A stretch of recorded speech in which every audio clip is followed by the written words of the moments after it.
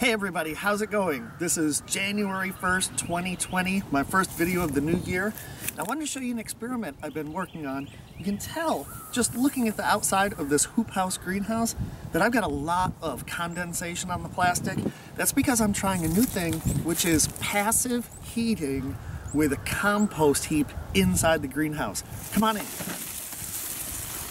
Last night was in the 30s outside Fahrenheit, and you see we're already over 80 degrees and it's morning. So not all of that temperature is from the sun. A lot of it's from this compost heap. Let me show you what's going on. Okay, so about a week ago, I built this very simple 2x4 pressure treated timber frame with some 4x4 posts, and then I just stapled chicken wire to it. Now come on in and have a closer look. I've got my typical mix of compost. This is just heavily shredded mulch stuff from out in my woods. I got some green, I got some brown. There's a little bit of pine litter in here. I've got a cap on the top of just some leaves that I raked up from my yard and I've watered it in. I've also got a little bit of chicken manure in here from my chicken coop. Now, the heat is radiating off this. Let's dig down. Again, this hasn't even been a full week. And I'm telling you, it's hot. Let's dig down and take a temperature. Okay, here's my top layer of leaves. That's a cap to kind of keep the moisture in. Oh my God, you feel how hot this is. Seriously, no joke. And then here, I'm getting into some chicken manure. Now let's just stick this in right at the top because you know the bottom's gonna be even hotter. Look at that, I'm skyrocketing. These are in Celsius. I'm already over 100 degrees Fahrenheit right there at the surface. Okay, I'm up at about 40 Celsius.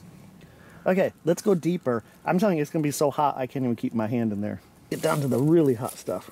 I'm telling you, you would not believe how hot this is. See the steam? See the steam coming up? Okay.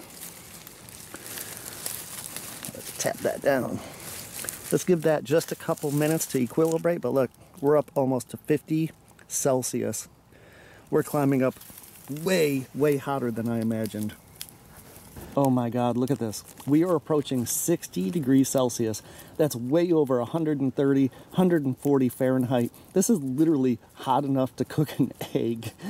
And I couldn't be happier. This is just a couple inches deep and I'm that hot. This is crazy. This hasn't even been a week. All right, another beauty of the system, look at all of the humidity. Look at the condensation. Keeping all that moisture in here, it feels almost like a sauna in here. I'm not even kidding. All right, so you see how easy this is? It's free heat. The microbes that are breaking down this compostable materials, they're releasing heat as a byproduct of their metabolism and basically warming up this place for free. Now my long-term goal is to put some type of rack over the top and put my potted plants on top of this mound.